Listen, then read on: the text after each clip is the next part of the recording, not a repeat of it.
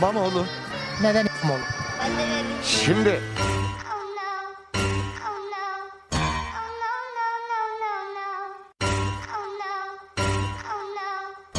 Siz de Oh no. Oh mi İmamoğlu? Peki o.